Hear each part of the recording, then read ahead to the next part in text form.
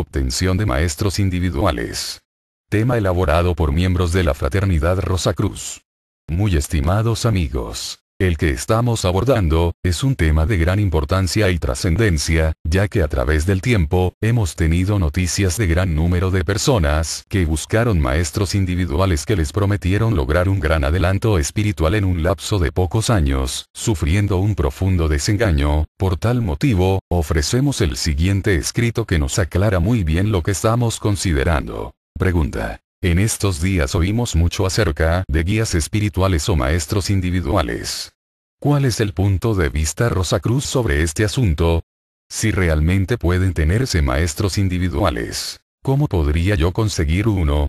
Respuesta. Todo individuo tiene en potencia dentro de sí mismo, todos los poderes del Dios de nuestro sistema solar. El objeto de la evolución, es desarrollar estos poderes potenciales y transformarlos en poderes dinámicos, listos para ser utilizados en cualquier momento y bajo el directo control del espíritu. Con el fin de conseguir esto, han sido otorgadas a la humanidad de tiempo en tiempo, grandes lecciones cósmicas. La primera lección fue dada con la intención de desarrollar fuerza prodigiosa y gran persistencia, todo lo cual es necesario para conquistar el mundo físico, la imagen del becerro de oro fue puesta entonces bajo la contemplación de la humanidad, siendo un símbolo de tal conquista. En aquel tiempo el desarrollo se obtenía principalmente por medio de la vista física. La segunda lección para aprender fue la obediencia a la ley divina. Esta lección nos la dio Jehová Dios bajo la forma de los diez mandamientos. El desarrollo se obtenía en aquel tiempo por medio del conocimiento de la ley y la consiguiente aplicación del conocimiento. La tercera gran ley es la iniciación la que fue traída a la humanidad por el Cristo. Esta lección nos enseña cómo usar nuestros poderes tan pronto como los desarrollamos. Este desarrollo se lleva a cabo por medio del amor altruista y desinteresado al prójimo dirigido por el intelecto. La intención de los grandes líderes de la evolución es que cada individuo aprenda a pararse haciendo uso de sus propios pies, sin apoyarse en líderes de cualquier naturaleza ni en nadie más porque solo cuando uno adquiere equilibrio y confianza propia, junto con una gran devoción, está capacitado para dar un paso hacia adelante en el sendero que conduce hacia el desarrollo espiritual.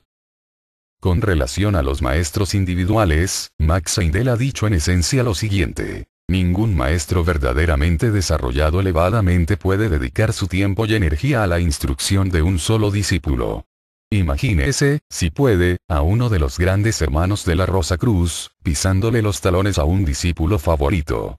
El solo pensamiento es sacrílego. Esos hombres, verdaderamente desarrollados de manera grande y sublime, tienen otras y más grandes cosas que atender y aún los hermanos legos, que han sido iniciados por ellos, no se les permite molestarlos por asuntos pequeños y poco importantes. Por consiguiente, puede afirmarse en forma enfática que los hermanos mayores no visitan habitualmente a nadie como maestros individuales y quien así lo crea, está siendo engañado. Ellos han dado ciertas enseñanzas que forman la base de la instrucción en esta escuela, la Fraternidad Rosacruz, y aprendiendo cómo vivir esta ciencia del alma, los aspirantes pueden con el tiempo, capacitarse para encontrarse cara a cara con los hermanos en la escuela de los auxiliares invisibles. No hay otro camino. El plano invisible está lleno de entidades que se deleitan en pasar como maestros de cuño propio y los individuos que son ligeramente psíquicos están continuamente siendo engañados por ellos.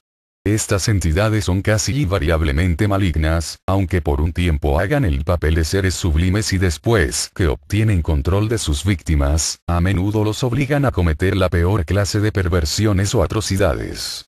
Cuidado con estas gentes que dicen tener maestros individuales a su tiempo, deberán aprender lecciones valiosas de sus extraviadas acciones, con el fin de saber qué es lo que no se debe hacer. Tales desgraciadas víctimas deben compadecerse y no censurarse, porque se hallan en una situación muy deplorable. Primero cometieron el error de seguir a este maestro astral de cuño propio, pensando que están recibiendo una atención especial, de la que se sentían complácidos pero más tarde y muy a menudo, se encuentran con que fueron las víctimas de una despiadada entidad que se deleita en echar a perder sus cuerpos físicos y terminan ya sea en un asilo de dementes o en una prematura muerte. Nadie necesita preocuparse por encontrar un maestro individual. El trabajo de la humanidad, en el tiempo presente, es prestar a los demás un servicio amoroso y desinteresado. Esto en forma automática desarrollará los poderes del espíritu y cuando esté listo, cada uno podrá ponerse en contacto con toda la sabiduría contenida en los reinos espirituales, sin la ayuda de ninguna agencia exterior. Tema elaborado por miembros de la Fraternidad Rosa Cruz. Agradecemos al señor Raúl Sacia, por este aporte.